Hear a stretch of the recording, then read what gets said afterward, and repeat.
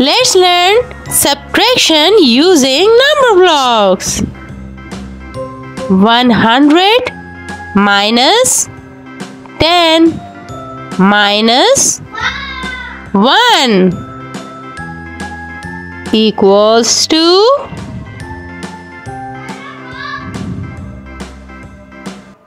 Eighty-nine. Two hundred minus twenty minus two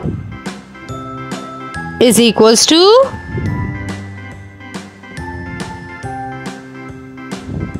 one hundred seventy-eight. Three hundred minus 30 minus 3 is equals to 267 400 minus 40 minus 4 is equals to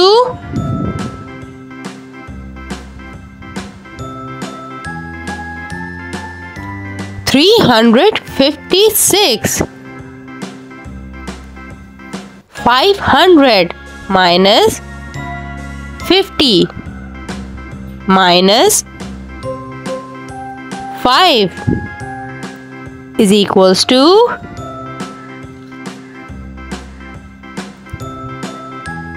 445 600 minus 60 minus 6 is equals to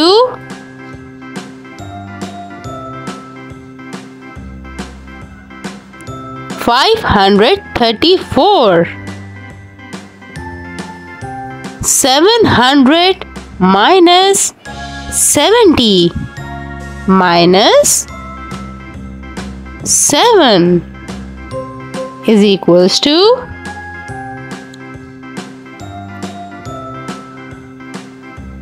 Six hundred twenty-three.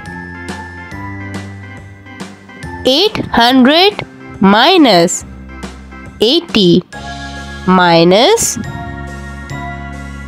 eight is equals to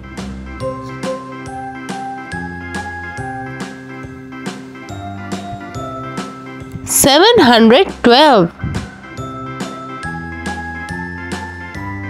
900 minus 90 minus 9 is equals to 801 hope you like my video please don't forget to subscribe my channel like and share my video. Bye